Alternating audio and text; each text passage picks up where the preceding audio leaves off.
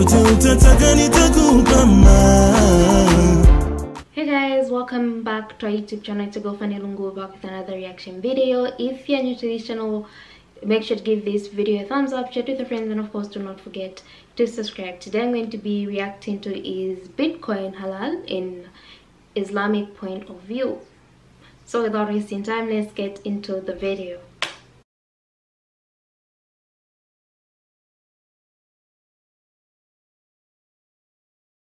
Uh, brother LeBron says, I'd like to know the details how Bitcoin tends to be haram according to a point of view, despite the fact that uh, cryptocurrency might probably be accepted as a legal tender and a medium of exchange. The issue of Bitcoin is a recent one which means that it is not found or discussed by scholars in the past. And unfortunately, with such new events evolving, some of them are, to some, crystal clear, and some, to, to others, may require the collaboration of scholars, economists, and people involved in such issues to deliberate and to come up with a conclusion. Basically speaking, Bitcoin is something that is recent and new. And there are a lot of serious concerns when it comes to dealing with it. Whether it is from the origin, where it came from, whether for, from the aspect of sustainability and security.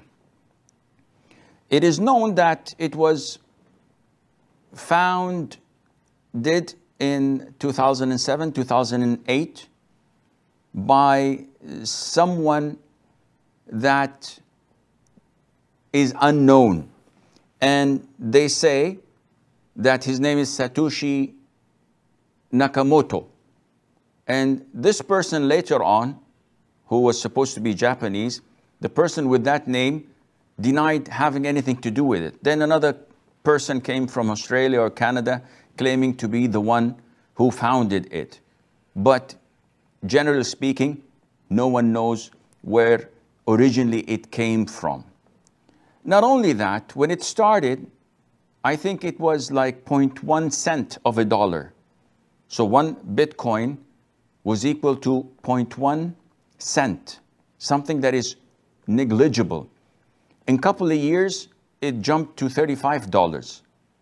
As of today, if I'm not mistaken, one Bitcoin that was 0.1 cent now is equivalent to $11,000 plus. This is ridiculous. What is this?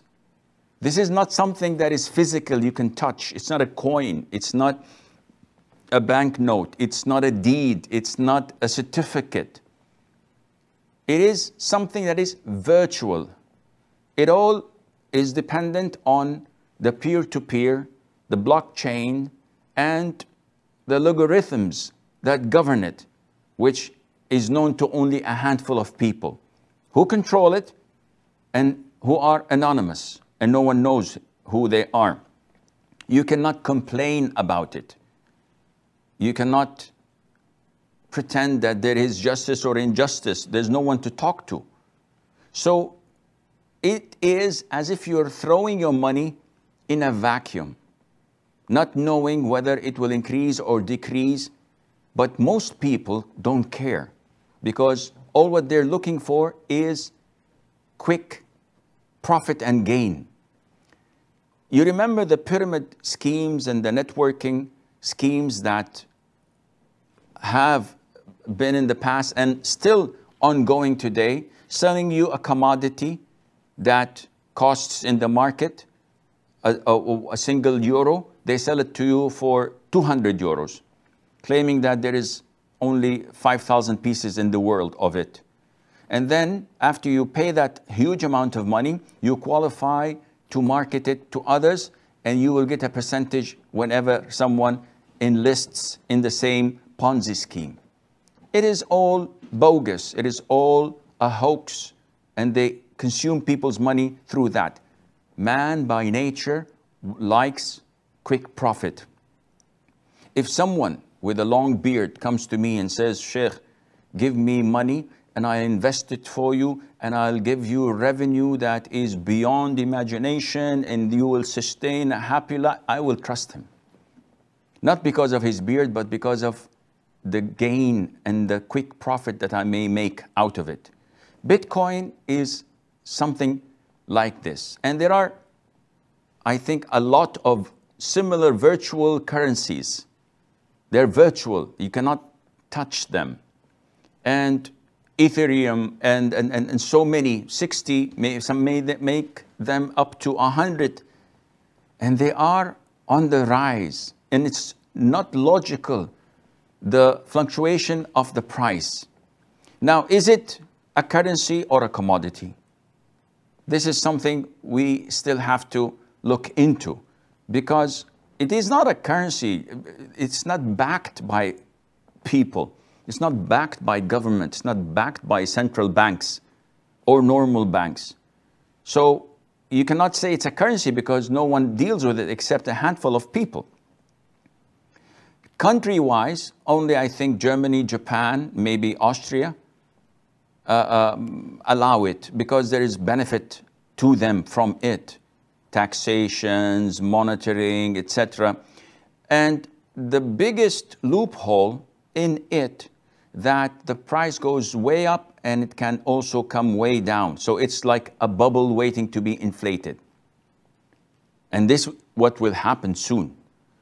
Now, we all know that there is only a limit for the bitcoins. That is 21 million of it. And once they reach the 21 million, what will happen? Also, we also know that it remains anonymous when you deal with it. So it's only a code that you're given. No one can trace it, which means that it's an open uh, gate for money laundering, drug laundering, drug money, uh, haram money. You can just put it there and no one can trace you. And this is, subhanAllah, probably why all hackers, when they do cyber crimes and they demand a ransom, the ransom has to be paid in Bitcoin. So the, the Pirate of the Caribbeans, the Disney movie that was uh, hacked and, and they demanded ransom for it in Bitcoin. Also, any cyber attack, any virus attack or threat can threaten your wealth and can take this currency, so-called currency, down to the ground. So there is a lot of ambiguity. If I have dollars and you have euros, we would like to exchange. This is permissible in Islam with one condition, and that is that it has to be hand to hand. It has to be physical.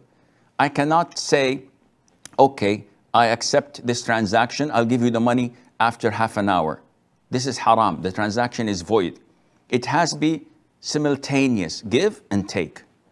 In virtual currencies, you don't have this. The transfer is not simultaneous and you don't have anything uh, uh, um, physical to hold on to. So this kind of ambiguity makes Bitcoin haram in my opinion. And Muslims should not get involved in such dubious transactions simply to make a quick buck to make a, a quick profit. This is not uh, an Islamic concept. And one of the reasons of a lot of transactions being prohibited in Islam is the concept of gharar, ambiguity, that there might be some sort of deceit or uh, uh, ambiguity in knowing the end result of this transaction. Allah Azza wa Jal knows best. very interesting. I mean, Bitcoin is becoming more and more of a thing now. Tesla um, invested in it. Tesla so far has invested in it, even making it, um, even making it what more popular than it was some few years back. Someone else invested in it. Is it a Chinese company or something? So it's like now people are investing in it. Is it going to be more of a thing than just um, an idea by some guy maybe that may have denied actually um, starting this whole cryptocurrency thing. What are your thoughts on uh, Bitcoin? I mean, I've heard of Bitcoin, but I'm not sure how it works. I'm not even sure. Um, I don't even have much information about it. I mean, I read articles from time to time, but I don't know how much is one Bitcoin right now.